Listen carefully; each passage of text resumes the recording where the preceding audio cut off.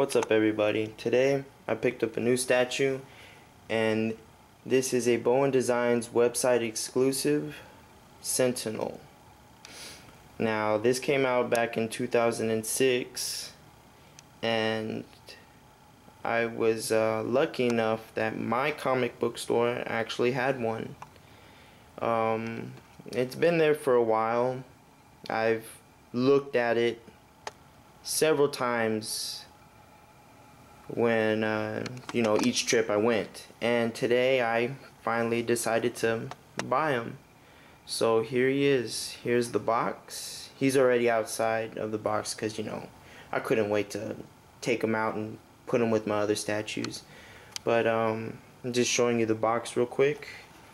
And this one it is let's see 380 out of 500 so there were only 500 made. But the funny thing is on the base of this statue it says it's 220 out of 500 so I really don't know what happened there but you know it's pretty cool. I, guess it, it makes it that much rare to me. Maybe not to somebody else but to me I think it's cool. Alright so we'll start off with the base the base and the statue are one piece. It's not like any other um, statues that you've seen, you know, where you um, put the statue in on on the base, you know, like with a um, with pegs. This is just one piece right here. You have like a normal, just a normal kind of base, you know. It's got some circles, kind of like a technology look to it nothing really special, but here's the statue. You got the normal colors. I believe this is the original um, look for the Sentinel, the original design. But there's so many different types of Sentinels, so I'm not sure which one it is. I mean, I should know, but I don't at the moment. But anyway, here's his head. As you can tell, it looks, it looks. I, I like it. It looks cool. Kind of reminds me of the uh, from the cartoon, the X Men series back in the '90s. Now the cool thing about this statue is that his head it rotates a full 360 360 degrees so you could have it at any position you want so you could be looking that way.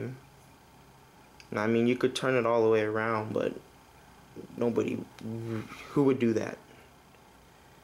But yeah, so I like to keep it like right here, like if he's grabbing somebody, he's like looking at him. Um, his hands come off. It's a magnet and the arms they're also mag they're they also have a magnet but they also have pegs as well. And his head does come off. So the only parts that come off are the head his arms his hand and this part this is just one big part. It's one part. It's got a peg and a magnet. And let me show you the head. See how it has the peg right there? And then it's got some uh, felt, black felt, and this is where you could do the full um, 360 rotation if you want. I'll give a close up. Now his eyes kind of have like, kind of reminds me of like a, um, a brush, a hairbrush. How the, just the little brushes stick out. I don't know what they're called, but that's what it kind of reminds me of. Very nice detail on it. You can see the cheekbones and the ridges on it. And the helmet. Let's put his head back on.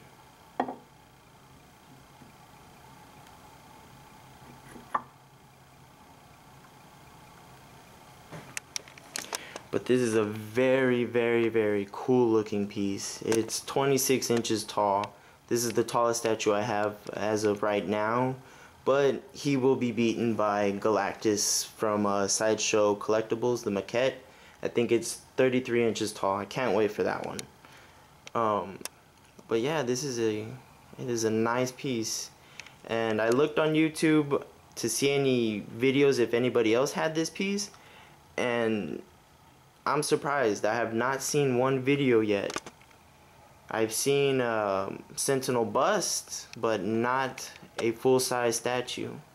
But anyway, that's enough talking. Let me just show you the statue now in all its glory.